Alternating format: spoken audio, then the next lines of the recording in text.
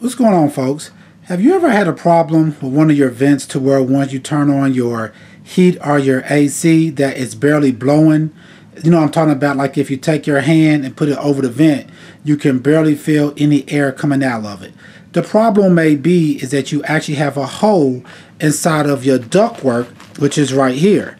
So in this case, you may need to actually replace the whole piece of ductwork going from your vent to your furnace or you may be able to actually splice which means cut out the hole that's inside of your ductwork and put a good piece in it. Sometimes you get holes like this in your ductwork due to rodents that you can see is all the way through. I can actually stick my hand inside of the ductwork. And if you have a hole like that in it what will happen is you'll still get air that's coming out of your vent or heat coming out of your vent but you'll be losing a lot of it up underneath your house or wherever that this ductwork is being ran at. I'm going to show you an example what I mean by how much air you can lose with this hole right here. Alright people, I'm about to show you how much air that you can be losing if you have a hole inside your ductwork like this.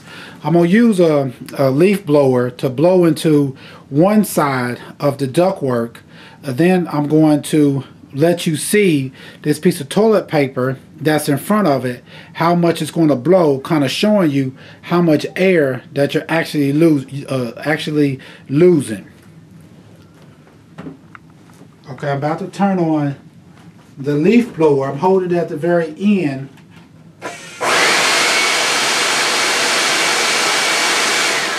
See, as you can see, there's still air coming through but a whole lot of that air is coming out of that hole. I'm going to do it again and watch how the toilet paper blows.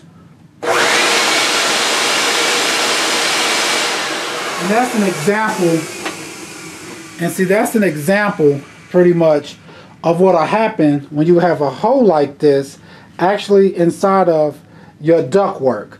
So once again, you may need to change this whole piece of ductwork out also, you can actually cut that piece out if you need to and splice in a new piece of ductwork without the hole. If you click on my next video or click on the link above, I'm showing you how to cut that hole out of your ductwork and splice in a good piece of it.